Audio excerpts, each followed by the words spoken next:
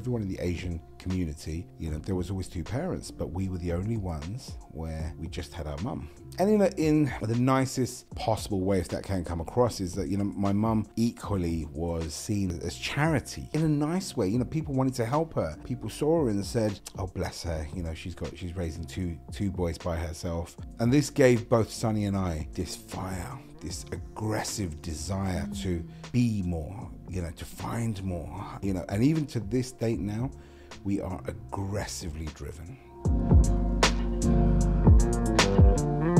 One of the most important things is trust. You know, no matter how long you and I have been friends for, regardless of what the situation may be, if I break your trust once, even if we've been friends for 20 years, if I break your trust once, sure, we'll carry on being friends, but there'll always be something at the back of your mind when something happens. Can I trust him? On today's episode, Kalpesh Patel, co founder of Asian Wealth Magazine and Foundxrs Club. Kalpesh, thank you so much for joining me today. Thank you for having me. Let's start with a super easy one. What's your purpose? it's not really an easy one. I know, I know. Um, and I think I, I think it's not really an easy one because it, it it always changes. When I say always, I mean you know it changes through life, right? My purpose now is is peace, hmm. and it and it sounds weird saying it like that, but when I was younger, my my grandfather always used to say the richest man in the world is the man who has peace, the man who can sleep well at night. You know, so for me, that's now the purpose. Mm. Purpose, and I say peace in in a way where I have two daughters so making sure that they are at ease, they make themselves happy, that will bring me peace, you know. My wife, making sure she has everything she needs as and when I say everything she has in terms of her being her, is her cup full. You know, these things will bring me peace. So actually my purpose now is peace. Very nice. This is the first time I hear this answer. Yeah. but it makes a lot of sense. And what I heard from what you just said, it's a lot of making sure that the people most important to you are good and you are good with them. So I guess relationships are uh, really important to you. Hugely, I can tell from hugely, you know. And I've I've realized probably over the last year or so, that's probably my one superpower. Mm. You know, um, there's many things that I'm not good at. There's a few things I am, and relationships is one cultivating them, maintaining them? Both.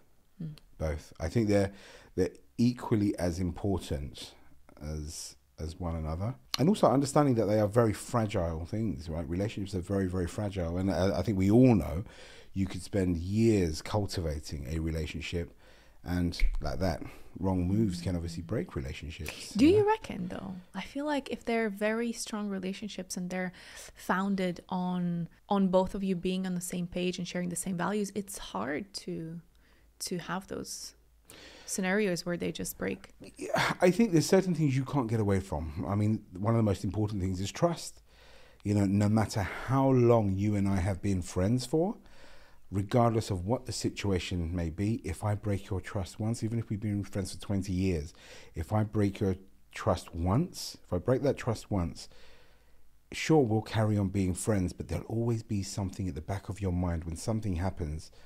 Can I trust him? You know? This is so, so true. And I ponder upon this often. Is there really nothing we can do? Time. Time is the only thing that we can do. You know, there is nothing, if there was a situation where I had broken that trust, there is nothing that I can say or do that is going to fix it. You know, that is something that has to be mended within you because it's something I broke. Now, only time can do that. So there's nothing that if I was the one to break the trust, there's nothing that I can do proactively. It's just a matter of passing of the time and not repeating the same mistake, I suppose. Of course, but again, you know, by you not repeating that same mistake also takes time, right? So, you know, if you equally if you are doing things to to mend that consciously or subconsciously, I also know that Dan is doing that because yeah. You know, she wants to mend this right? So it, the only thing that happens is time, and time fixes a lot of things. We've gone in real deep, right, from yeah, the start. that's we? how I so, like to roll. Yeah, straight into the deep end. so, just to finish off that, how do you cultivate your peace aside being sh- making sure that your relationships are well taken care I, of? I think I think it's really analyzing who you are and the world around you, and constantly growing. And I think, look, where I was pre COVID and the businesses that I was involved with pre COVID to where I am now, there's been a huge change, not just for me, but I think obviously a lot of people. But from a from a business point where we are now, you know, we are immersed in the world of, of growth and evolution and it has to start with us. It has to start where we are. So now what I do, the conversations I have, the people I surround myself with, um, the actions I take are all around growth and evolution, you know, which ultimately, I hopefully, you know, will lead to peace. So far, so good. So, so, so far, so good. Don't get me wrong, I have my days. Of course, as we all do. As we all do. Um, but so far, so good. If I asked you whether there was a moment in your early days when you adapted a belief or a conviction that to this day has made a very strong impact on you? That's also a very interesting one because somebody asked me a very similar question recently. It said, What is your superpower? What are you absolutely great at? And even then, uh, you know, I had to really think, you know, if I had to really think about, okay, what, I, what is the one thing that really, from a very young it might have been just an event or something somebody said something or something happened to you observed something Mm. that really something clicked within you and you were like oh it can be a good or bad thing yeah but it changed you I, I tell you what it is, and I, I think it was my desire to succeed. what triggered that You know, so when I was growing up, my brother and I, so there's you know that we're uh, there's just my my brother Sonny and I, and we grew up with very very little. And I know it's it's very cliche, you know, the rags to riches uh, story, but we were raised by our mother. So my father and, mother they divorced when we were very young. I was about eight, my brother was about four. And in Asian culture, it's very very taboo, especially in the eighties. It, it, it you know, it didn't really happen. So we were now confronted by this situation where everyone around us, all our family, all of our friends, you know, everyone in the Asian community, you know, there was always two parents, but we were the only ones where we just had our mum. And in a, in the nicest possible way, if that can come across, is that you know my mum equally was seen as a as charity, you know, but in a, in a, in a nice way. You know, people wanted to help her. People saw her and said, you know, oh bless her you know she's got she's raising two two boys by herself you know so they took pity and they did help her. But equally what we were seeing is you know why why you know what- disempowerment? Yeah absolutely you know and and this gave both Sonny and I this fire this aggressive desire to mm. to be more to you know to find more you know. And even to this date now we are aggressively driven you know in what we do. And and there's never enough. Like we'll always kind of okay well we've got here. How do we do more? How do we be more? How do we look for more? How do we grow you know? And all Um, that goes back to that I- stage in your life. I believe so. That would I- make a lot of sense. I believe so because even even now, you know, we still have that hunger, but it stems from when we were young and we didn't have much, and what we saw equally in society. this just makes me think once again how things that we think are adversities and are our kryptonite and are the bad things in our lives actually so often so often are triggers to something great Yeah, absolutely. And it's you know, Dana, I I honestly believe there is a systematic problem now um, with the new generation, and I say that even from from my own, you know, because you know, as I mentioned, I've got two daughters. My brother's got triplets, three. So between us, we have five girls. And Sonny and I constantly have a conversation about: Do the girls have the right fire? Are we instilling the right fire in them? You know, and you sometimes you can't. what is the right fire Well, I guess you is there know. such a thing as the right fire Wow. Um, I believe there is a right fire, uh, but sometimes you can't be taught the right fire. Sometimes what it, is the right fire well, I guess the right fire is that fire that burns at its core. Mm. So this is something that will burn forever. You know, from the point it starts to even when you like. So even now, the right fire. For are you Sonny- talking about that hunger that ambition Yes, yeah, yeah, absolutely, yeah. You know, call it hunger, call it ambition. Um, that spark, you know, it has to, it has to be so strong. are you afraid that they might not have it because they're in a different situation that you and your I've brother Be, I've been scared from day one, Dana. I've been scared from day one, and it's not just us. Look, you know, the kids. And not just my kids or Sonny's kids, and I think kids generally. Look, you know, if there is this frame framework where migrants' parents, you know, will go from one country to another. Okay, usually they end up with very little to start off with. They they start off with very little. Their children, call them Generation One. Mm-hmm. Their children who are Generation Two, are the ones that are born and raised, are blessed to be born and raised in a better place. In a safe country. Absolutely. Opportunities. So Sonny and I were Generation Two. My mother was from India. My my father was born and raised in Uganda. Um, you know, they came to this country. Sonny and I were both born here, born and bred South London boys. But we saw the hardship. We saw the hardship that my mum went through. We grew up in a two bedroom council house. You know, we went through that system. So we saw it. That spark came alive. Now, my daughters, Sonny's daughters, lots of children of that of this new generation, they're generation three. So what happens is that they grow up in, you know, nice four or five bedroom houses. they don't with- know the struggle that No, of parents and grandparents no, had to go through. absolutely. Two bed, two cars in the driveway. You know, um, two or three holidays a year. You know, they don't have to worry about putting bread or milk. You know, on the table. So it's very different. So, you know, sure they have struggles and they have different mindsets and etc. etc. but that's generation three. Now, by default, there is this study. I can't remember when it was done, but there is this study to say the generation one is the poorest. Generation two will become the most successful and the wealthiest because they've seen it. Generation three will, yeah, it will start declining because they, even though they, under, they, they, they value it, but they don't fully understand it because they never really went through it. And generation four, unfortunately, will blow it because they never really had. And even if you look at even simple things like, so my, you know, my my uh, I'm a Hindu. And my native tongue is Gujarati. I speak it fluently. My brother speaks it fluently because growing up, my mum spoke it in the house, and we spoke with my mum in Gujarati. My both my daughters they can understand a little bit because they speak to my mum, their gran, in Gujarati. Yeah. They can't speak it. They can they can maybe mumble a few words. They understand. My elder one, you know, she can understand more than the younger one.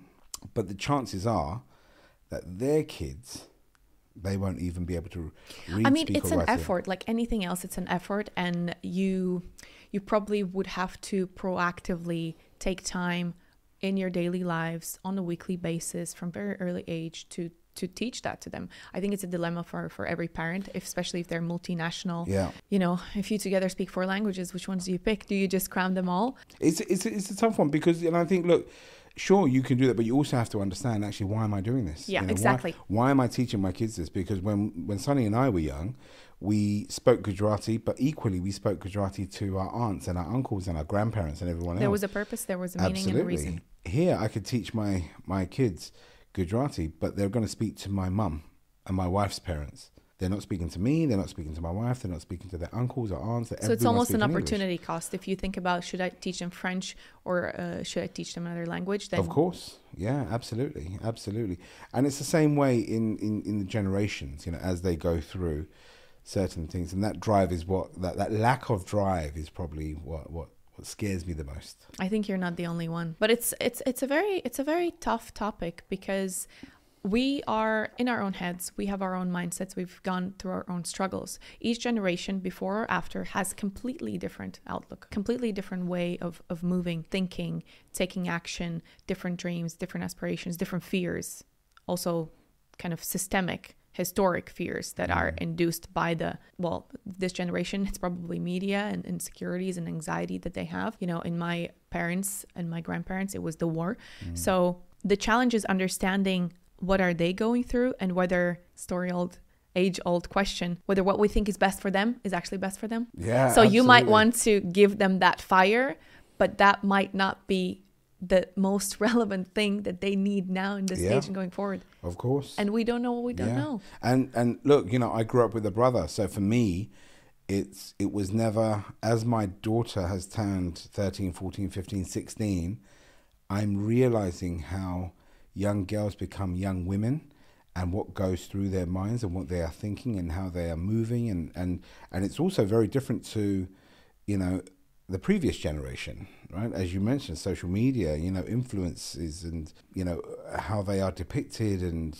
you know and everything that, that, that they go through. I'm also seeing and understanding and learning myself because boys behave in a very very different way and we always have you know? So no i get it completely We'll unpack this in the future. You let me know if you get a solution there. so, I wanted to ask you about the um, Asian Wealth magazine. So, it is the UK's only luxury business uh, publication for Asian entrepreneurs, business leaders, and professionals. I was going to ask you what inspired you to create it, but now, given that you've told me a little bit about your early days, I understand that there's a natural pull towards the contrary of what you wanted to escape when you were young. So, does that? Yes, absolutely. That was definitely one one of the pulls. Ultimately, Dana, what it was is that I've been in publishing for many many years, and I, I started with an oil and gas magazine.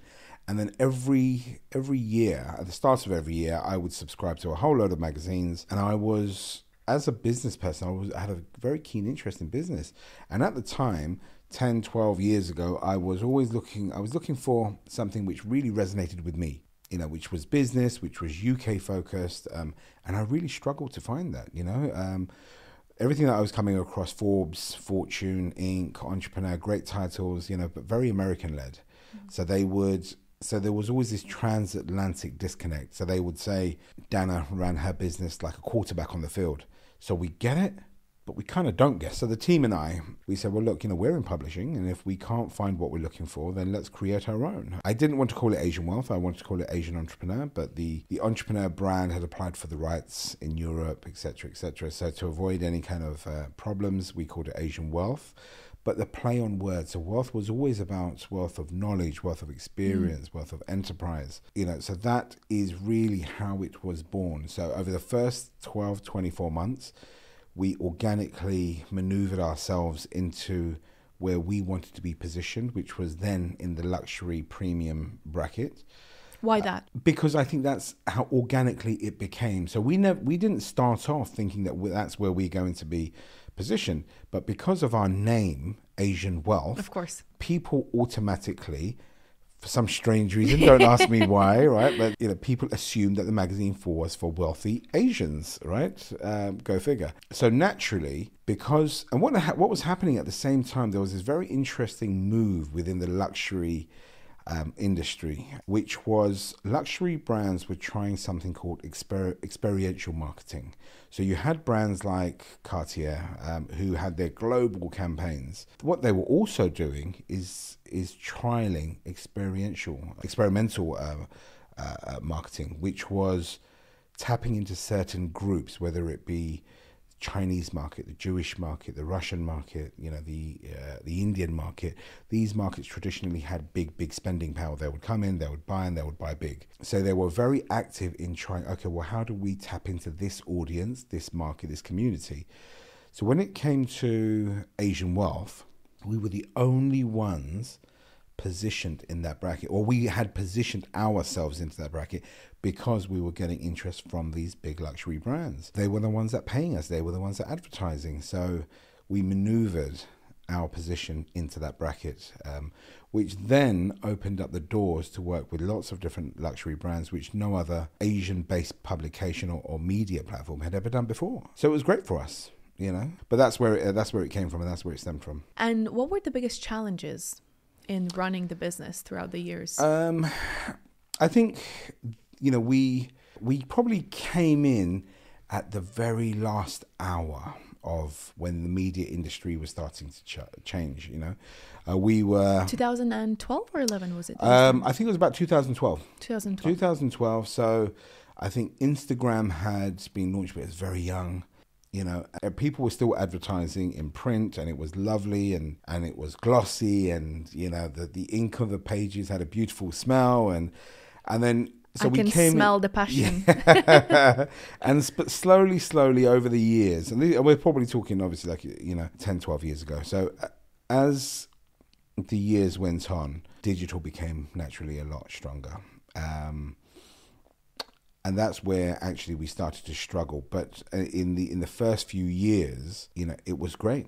It was, it, you know, we had we had great fun doing it. And we When you say yeah. we, is it you and your brother or? So yeah, I always say so. So Sunny and I, yes, but we had a small team as well. Mm-hmm, uh, We had a team as well. So you know, the our editor, our head of digital, etc., etc. So we had a great team putting everything together. So the challenges you're describing were all due to the digitalization of the marketing and publishing space. Absolutely, absolutely. As I mean, the, the challenges, the challenges that we found. Number one was we were a very small fish in a very big pond.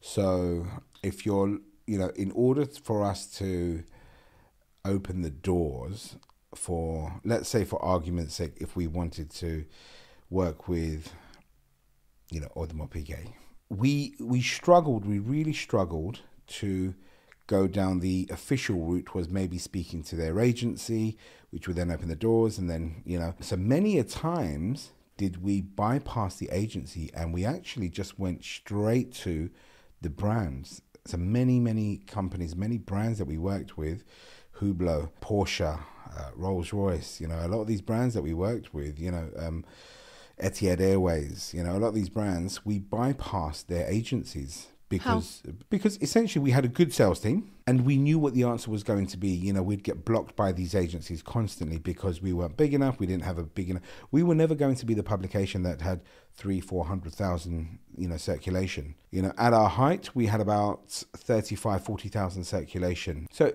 approaching an agency and saying we have 35, 40,000 circulation, we're targeted to British Asian, you know, um, audience. The answer was not good enough, not big enough, not strong enough, you know. However, when we went directly to the brands, the marketing person, the marketing director, the head of brand, whatever it may may be, when we spoke to them about it, very, very interested. And it's exactly what happened with Porsche. You know, Porsche was one of our Because you're catering to their ideal customer. So it makes a Absolutely. lot of sense. yeah. Absolutely, for the agencies, and I and I and I really, you know, I we we you know we really struggled with the agencies, so it became really annoying, you know, that they just we just couldn't open the doors, you know. So you Um, realize that you can just make a shortcut that makes a lot of absolutely, sense. and sometimes we would leave the agencies embarrassed, you know, openly embarrassed, you know. Porsche, like I mentioned, you know, we spoke to their agency, and they categorically said. Your brand is not something that Porsche would be interested in. Then you You came know? to them a week later and you're like, Absolutely. I beg to differ. Absolutely. Well, actually, it was my head of sales at the time. He had contacted the the brand manager for Porsche UK, and his his reaction was, "Where have you guys been all my life?" So the the interesting thing was, he sent an email to my head of sales, me, and copied in the agency guy who we had spoken to a few weeks prior, who had said, hey, you know, these guys would Yeah. not be interested in you. That's how, you know, it, it was. But these are some of the challenges, obviously, that we faced. so what's happening with it now? Good question. So, uh, so Asian Wealth is still around. Mm-hmm. Um, we pre-COVID, we really, really struggled because we had got to a stage where most of our advertisers were saying, "We love working with you. We want to carry on, but we're putting a lot more time, money, and effort into digital." So we we dropped the print edition in 2018. We moved the uh, publication into digital. One of the biggest values for us was that we had this lovely pool of people that we had accumulated over the years. As clients or as guests or Both, as Mm-hmm. both. So these were business people, professionals, business leaders, um, visionaries, creative people, high net worth. You know, just people that you had interviewed that you had in any way um I'm thinking now in selling Coinvolta engaged in in the in the magazine absolutely, in one way or another. yeah, Yeah. absolutely. And and it may not have just been people that we had interviewed. It could have just been people that had come into our world that we enjoyed their company and they added value to what we were doing. So we we'd built up this wonderful pool of, of people, um, and that was our biggest value. So the brands like Audemars Piguet and Porsche, and you know they wanted to engage with these people, but it got harder and harder. So in 2019, I said to Sunny, I said we need to do something. We need to pivot our business because I don't know what the media industry as a whole is going to look like in the next five years. Mm. You know, so How was that process of turning it digital? it was painstakingly hard because I, I you know, Dan, what does I, it take? Uh, in terms of just making Yeah. everything digital. Yeah. We already had a digital footprint. We had already, you know, we were already on social media. We had an online presence. You know, we were already digital. So What was the hard part? the hard part was getting over the psychological part of it. So I come from a world where, from traditional print, you know, as I mentioned, I love the smell of the ink on the pages. I love the touch and feel, as do we as humans. You know, we are very, we, we are those kind of creatures where we like something tangible. We like to touch and feel something. That was now gone. So even though you could see, still see pretty pictures online and, and on Instagram. Was it perhaps a feeling that is this even real if it's not there physically? Um, I guess so, and I guess you know, probably one of the the challenging parts for me, Dana, was I'm a very creative person, and I was using the photo shoots that we did in the magazine as part of my crea- creative outlets. So now these things were all changing. These things were taken away. You know, sure we could do still do the shoots and and have them online, but there's a very different feeling than seeing your your images in print or online. Very, very different. So we got to that point and we said, okay, we need to decide what we're going to do. And the talk of a club had been on the cards for a while. So in 2020, we launched Foundxrs Club. I see how that's a perfect transition. Mm. So tell me more about Foundxrs Club. So Foundxrs Club, we launched in 2020 in the midst of um, uh, a lockdown. And it actually happened because So wait, let me get this straight. Members Club, networking club, launched during the midst of COVID. Mm. Tell me more. So I no, I, I'll tell you. I'll tell you how it actually came about. So every at the start of we, uh, the family and I, we find ourselves in the Maldives. I represent a resort in the Maldives. So every start of the year, um, we, we are there. While we were in the Maldives in January, Sunny and I spent a day, you know, just on the back of, an envelope, writing down, right, if we're going to do this club, what does this club look like? Who would join? Why would someone pick our club over somebody else's club? And So just a little side note. So essentially, you were at that at that moment where you realized that the biggest value add of Asian wealth is actually that community. correct. And on top of that, you were missing some sort of creative action and engagement and outlet. And so with that, you kind of paired them together and created what made Asian wealth the best anyway. So the community. Yeah, the creative part, the creative part, I'm still searching for. Um, you know, I'm still making That cup own- is never filled. That cup is never ever filled. I'm still making my own inroads and filling um, uh, the, my creative cup. But what it came down to, we looked at our audience and we said, "This is our people. This is our, you know, our audience. How do we bring value to those people?" One of the things that we done very, very well with Asian Wealth was we had great events. We had great parties. People knew that we knew how to throw a party, right? We had the best parties, but there was always something more where we felt actually, you know, it's great to have an event, chink a few glasses, you know, listen to some great music and connect with some great people, but then what? So it came down to, again, value. I had been a member of a whole bunch of clubs over the years. Sunny had been a member of clubs, and we always felt there was always something missing. It's like you could go to a restaurant and you could sit there and you could say, that's good, but it, it could be great. That meal is good, but it could be great. That service is good, but it could be great. So for us, it was like, okay, well, there's something missing. What here was that? you know, it was I was a member of a club where they had about six, seven hundred members, but I never knew who those six, seven hundred members were. The only time I would get to meet them is if I walked into a room full of a hundred people, and you'd see the name tag, you know, and so you're you're in that room for two hours. You know, you're not going to meet a hundred people. So it was either that. So for me, it was one of the just one of the things was okay. Well, we need to be transparent. If you are joining our club, you have to be able to connect with every single person in that club. You have to be able to see who they are at the touch of a button. So now in our, you can see every single member who's who's part of the club, what industry they sit in, and a short bio on them as well. And you can reach out to those people. Nice. So for us, it was actually that's what I want to do. You know, I didn't enjoy walking into the room of 100 people. So actually, how do we build relationships in a room of 20 people or 25 people? You know, that's where you build. So these kind of things where we walked into knowing that this is where the value is. And it equally has to just be, you know, what is value? So we, we were asking all these kind of very deep questions, you know, in January while sitting in this resort, and then we we flew back in Feb, and as we were flying back, the news broke of this virus, COVID nineteen. Not knowing, obviously, What would it entail? yeah, absolutely. Only until we got back, and then obviously the world pretty much came to an end. But in a way, that was a blessing, Dana, because it gave Sunny and I a great time to really put our head down and really look into this club and say, right, okay, well, let's look into the dynamics of this. Why would someone join this club? You know, what's in it for them? You know, we've talked so much about value. What is that value? What is, you know, what separates us from anybody else out there?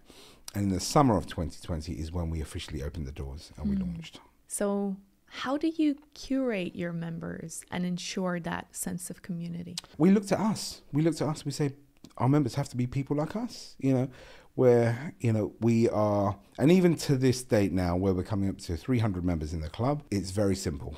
You know, we have. You have to be a the prerequisite. You have to be a founder or a co-founder or an affiliate founder. So you've taken over a family business. Or uh, purchased a, a franchise or something like, along those lines. We generally pick founders who are at least a couple of years into their business because they are now in that kind of serious growth stage. They have to have a growth mindset. That's hugely important. They have to be wanting and willing to grow. Because from what we've spoken about before, mm, you mentioned that it's not only the community, the connection, the events, it's also the um, facilitating of their entrepreneurial journey that you Yes. provide in this Foundxrs yeah, Club. yeah, absolutely. I mean, look, you know, it's great for us to say our job in the club, Dana, is is to go beyond saying networking? Or because when we ask someone why do you want to join the club? the answer that we always get is i want to connect with like-minded people. I want to interact with like-minded people. But it's only when we peel back that layer to understand why. What does that mean? You know why do you want to connect with people? Why do you you want to connect with like-minded people? Is it because you want to find your next customer? Is it because you want to you're feeling lonely in your business? Support. yeah is it because you are trying to raise investment in your business? Is it so it's only once we ask that question do we start really getting real answers. Yes. um, and that's where the value is. It's it's it's beyond. And now we've got now we're two and a half years into the into the club. We're now getting into very very kind of deeper psychological um, value adds for our members which is personal growth mental growth. It is very much kind of So is it coaching and mentoring and workshops? absolutely. And courses? Mhm. yeah absolutely. It's you know and it, it, sometimes it's not just that. Last year we hosted eight of our members um, who went up to scotland to do a whiskey tasting. And it was only for 36 hours a great experience for 36 hours. Half of those members had never been to scotland. And and part of it was because you know it was always on their list but the Same. the time, yeah. So you know, it's just like you know, there's a lot of places that have been on our list for a long, long time. Unless it's put in front of us, unless it's put with the right people, and those eight people have now become like great friends with each other. They will do things outside of the club. Once every couple of months, they'll get together and you know they'll they'll go for nights out and whatnot. You know, and and that's okay for us. That's that's one of the things that I love that the club has created and been able to facilitate because for those people, it's it's that fulfillment that they've now created this group and they're being fulfilled and they're be, they're growing together. You know, so for for us, that's kind of the deeper parts of of the club. Hmm.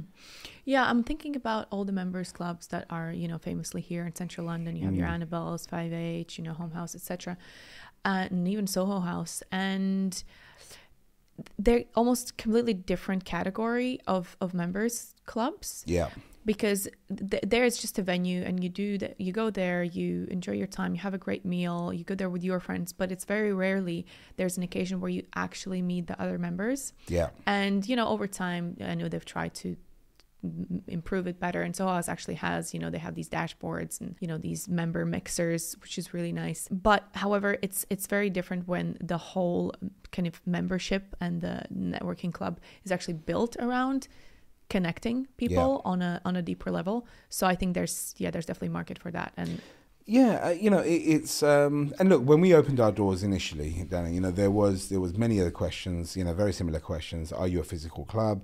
Um, uh, do you plan to be a physical club? You know, and besides being kind of listed at the top of you know members club uh, or membership club, you know, we're very different propositions. You know, of course, you know, those as you as you mentioned are, are physical places, physical buildings for us, if you are going to spend a couple of thousand pounds and become a member of of Foundxrs Club, you are walking into and you know that you're walking into something different. You may join, you know, any of Annabel's Arts or you know any of the other clubs like that because you may just want a place to go and and be. Yeah. You know, you're joining a club like Foundxrs because you want to evolve. You know, that's essentially what it is. You want to grow. Now, whether what that and grow together. Yeah, absolutely. You know what that growth looks like is very different member to member, but you want to, you know, you want to build that ecosystem. You want to be part of a unit, essentially. You know, Because it gets so so lonely. it does. Yeah, I don't care who you are, what you do. It can be a lonely road. I work with my brother. My brother and I are immensely close, but sometimes, naturally, you know, I, I still feel lonely, and I know he feels lonely. Imagine the solopreneurs. Absolutely. Absolutely. I have one of our members, a really, really lovely guy, and he was saying, I feel really, really lonely in my business because when I, I, I go to the pub with my friends, and when I talk about increasing my business from a 10 million pound business to a 30 million pound business, they don't get it. They don't understand what I'm saying, you know, because they are in banking and they're in, um, you know, health and fitness and they're in this and they're in that, you know, but they can't understand. So, you know, my aggressive growth mentality to say, okay, I want to grow my business from here to here. So I have to sit there quietly. So it is a lonely road. It can be a lonely road. So so important to have that support system community where you can share and people that can just share their own knowledge and support you Of course. with that understanding because of course it's it's nice to have some people don't have supportive friends and family so it's nice to have supportive friends and family but it's also nice to have somebody that actually understands where you're coming from Yeah, absolutely. So if i asked you hmm three big lessons you've picked up over the years for yourself that you treasure dearly what would they be So, my first big lesson that I've learned is to remember you don't know what's happening in somebody else's world. I used to be a person who was very much this is what I think and this is what I do and this is who I am and I'm saying this to you and if you are not saying or behaving in a certain way, then I'm thinking, what's wrong with you? You know? But I've realized that everyone has their own journey, everyone has their own story, and you never know what is happening in somebody else's world, somebody else's life, you know? Somebody else's day. You don't know what's happening in somebody else's day, right? So to be a lot more mindful to be, you know, completely mindful. The other thing I've learned is we are all human. And I say that in a way because I've had the pleasure and privilege of sitting with people who are immensely successful, who own cornerstones to countries, only to realize that they're still human. We, there is they have this the same problems they have the same problem, maybe at different levels, but they still have the, they still have the same problems, right? Um, I still find it very fascinating because generally, as humans, we'll look at people who are uber successful, and we we will treat them as demigods, as we'll treat them like they're not human, like you know, you know. And it's okay to be in awe of someone. It's okay to be inspired by someone, but it's very important to understand we're all human. You know, we all face insecurities. We all, doesn't matter who you are. I've got friends whose wealth runs into hundreds of millions and they still have insecurities. of course You know, we're all human. It's right? like supermodels not feeling beautiful. Yeah, Like, We, absolutely. we all go through the same struggles. And this is a very good point. I, I speak about this often, which is not putting people on a pedestal. yeah. I've certainly done that. And it's hard. In some certain situations, it's hard not to do that. Mm. But it's, as you say, it's very important to always keep in mind that fundamentally, we have so much more in common Mm. than we don't. Yeah. So there's no reason to put somebody on a pedestal to the point where, as you say, they seem like demigods or Yeah. they're, in the end of the day, they still go to bed, they still sleep, they They wake Ab- up. Absolutely. just like if if anything, you know, generally, the more successful they become, and I, I'm talking financially, the more Hi there! I hope you're enjoying this episode. You can listen to the full audio version for free on your favorite podcast app. And if you are enjoying this video version, I invite you to join my exclusive Patreon community to support the making of the show and to unlock a ton of exclusive content, such as the full video episodes, bloopers, some controversial topics, and more personal questions from the guests, and much more. Link is in the description below.